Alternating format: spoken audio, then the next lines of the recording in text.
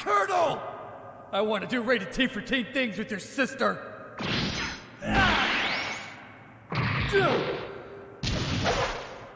You can't. We're rated E for everyone. She dies in this game, man. If it's not happening now, it never will.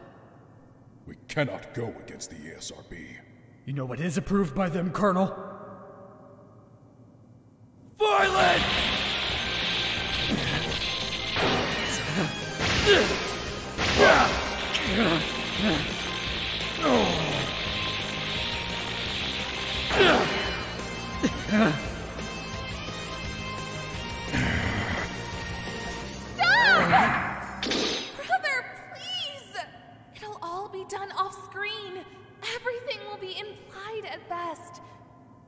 You know what?